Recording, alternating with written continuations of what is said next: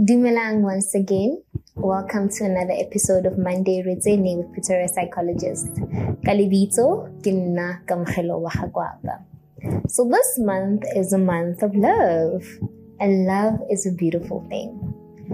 Today, however, I'm gonna take a different route. My topic for today is unresolved issues. Yes, unresolved issues. I've realized that in many times in relationships, you know, we, we have so many unresolved issues.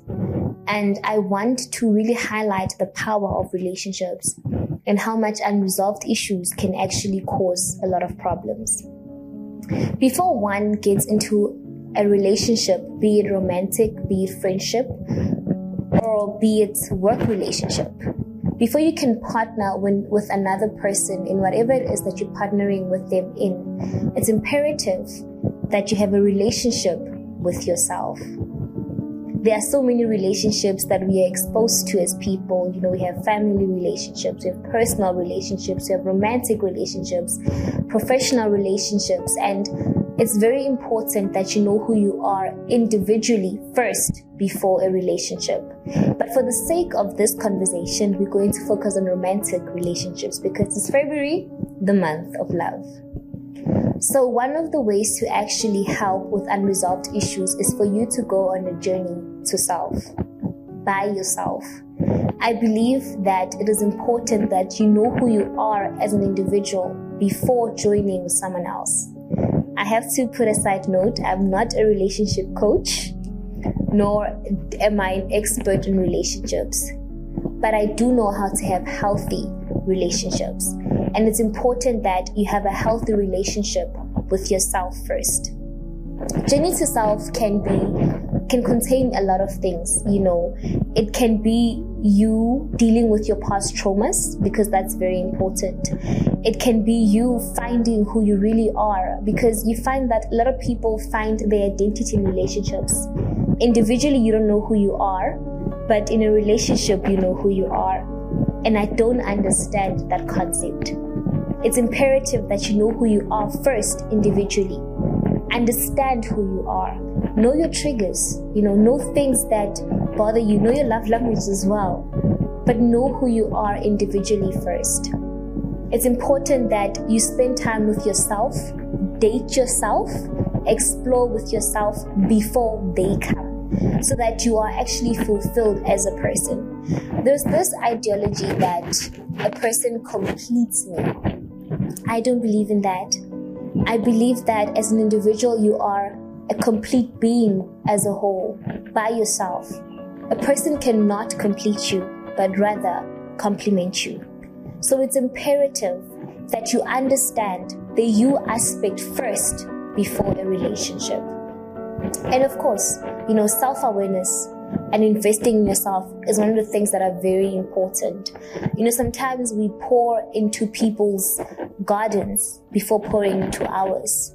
And that would leave you very empty and feeling like you've got nothing more to give. You cannot give what you don't have. You know, you cannot learn to love someone if you haven't learned to love yourself as well. So it's important that you resolve your issues. It's important that you understand that it takes two to be in a relationship, and a healthy relationship requires two healthy minded people. I also believe that yes, two people can make each other happy, but it is not your partner's responsibility to make sure that you are happy. Your happiness is your own responsibility. You become happy individually and share that happiness together as a couple. So, depending on your partner to make you happy is not a good thing. It's actually very toxic because it means that you lack as an individual and it creates a dependency syndrome. And we don't want that. I believe that it's important that you are independent in a relationship, that you can stand on your own even with your partner. I also believe in being the one before you go on a journey of finding the one. We always talk about how we want the one. You know, the one must be this, must be that, cross off a list. But in reality, are you the one? Because your one is also looking for their one. So it's important that you also take time to invest in yourself, you know, so that you can be the one, you know, yourself for yourself first before you can be the one for someone else. And I think that's where unrealistic expectations also come from, and I want to eradicate that. And I will put a disclaimer again that I am not a relationship expert, neither am I a relationship coach.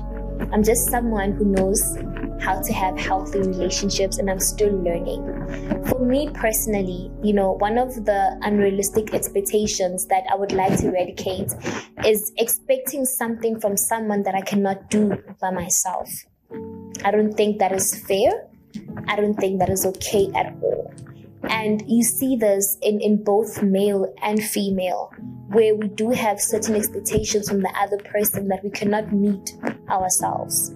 I will give a, a small example.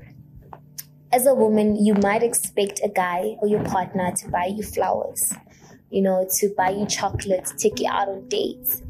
But in reality, have you done that yourself first? Do you buy yourself flowers? Do you buy yourself chocolates? Do you take yourself out on dates? Whatever it is that you are expecting from another person, are you also doing it on your own? So it's important that we eradicate these unrealistic expectations that we have on other people, you know, that we place on other people. You need to first deal and meet your own expectations before you can actually expect from someone else.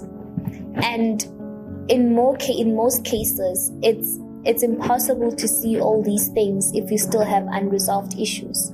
You know, we get in relationships with past burdens, we get into new relationships with past traumas, and we tend to actually reflect or project that onto our current partners.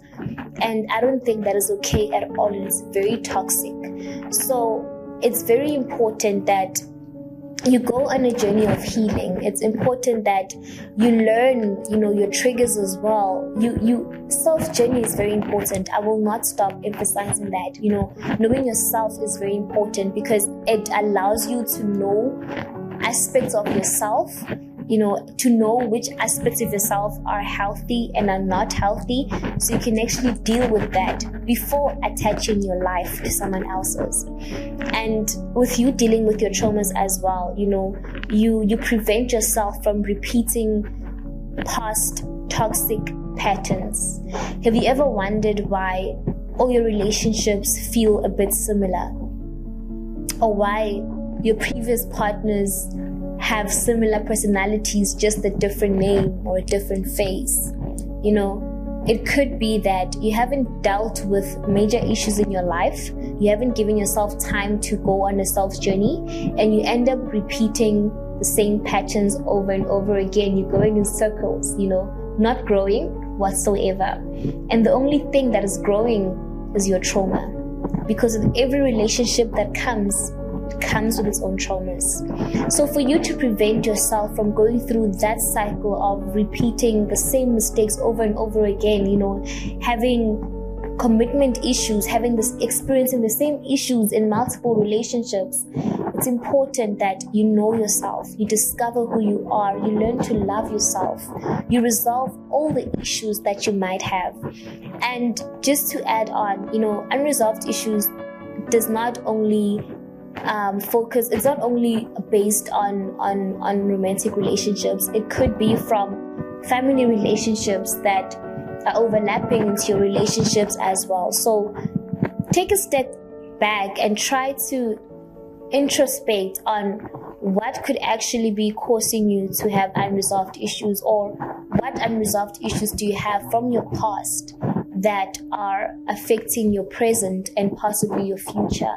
You know, what childhood traumas haven't you dealt with from your past that are making you behave in a certain way, that are making you think and and perceive and process things in a different way, you know, that is not healthy at all. So I will not stress the importance of therapy.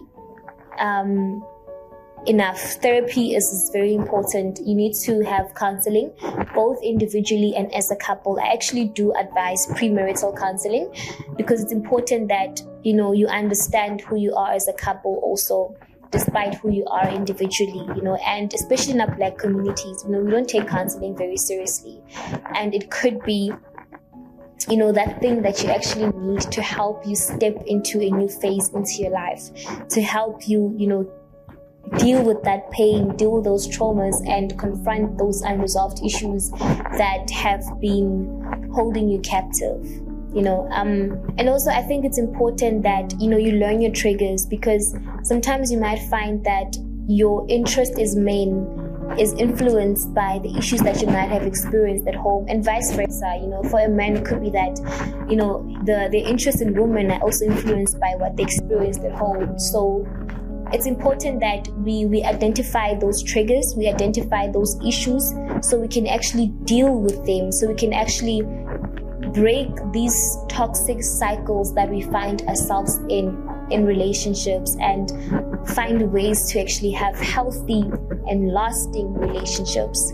And last but not least, you know, part of dealing with unresolved issues is communicating effectively. It's important that you communicate openly with your partner, communicate openly with yourself as well. You know, we lie to ourselves a lot. We we we try to convince ourselves of so many things, and I think it's important that you be honest with yourself and your partner as well about things that concern you, things that you don't approve of, you know, things that don't make you comfortable and okay, you know, and also the things that make you okay as well. But communicate openly and effectively with yourself, the people that are around you, and your partner as well, so you can have a healthy relationship and so you can deal with your unresolved issues.